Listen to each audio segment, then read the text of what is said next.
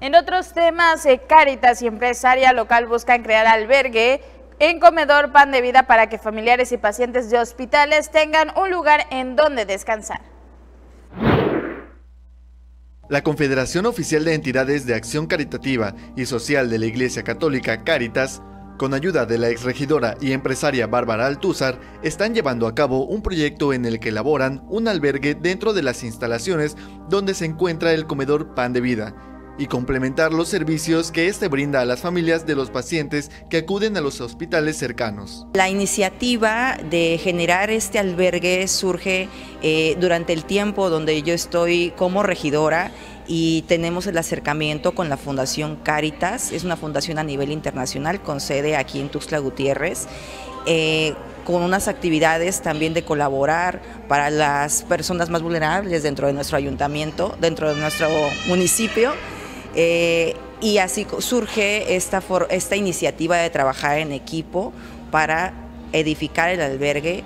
Eh, nosotros como ciudadanos esta necesidad es muy visible, que fuera de los hospitales, pues hay muchas familias esperando a sus enfermos o enfermos que están por entrar al hospital y es muy triste que en este momento donde ellos se encuentran eh, en una situación de mayor vulnerabilidad no tengan un espacio donde ellos puedan pasar la noche, donde se puedan asear.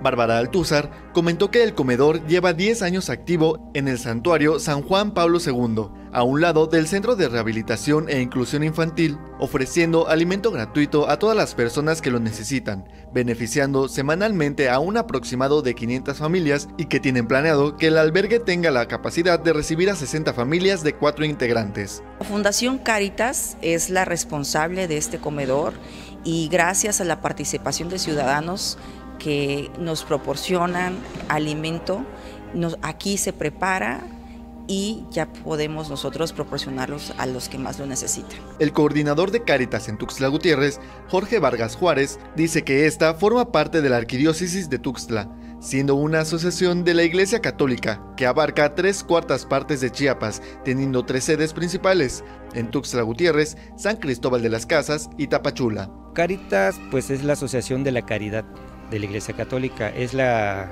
oficial, ¿verdad? La, la asociación oficial. Estamos en más de 98 caritas en la República, estamos distribuidos en, todo en todos los estados. Y pues aquí en Tuxtla Gutiérrez, en Chiapas, aquí en, la zona de la arquidiócesis, pues atendemos eh, la zona de eh, lo que es emergencias, atención a los migrantes, eh, salud, a los desplazados, los desplazados internos que tenemos ahorita de los conflictos que tenemos, los problemas de violencia que tenemos en la zona pegada a Guatemala, también se les está atendiendo. Eh, la gente en condición de calle, a los niños también vulnerables, a las personas vulnerables.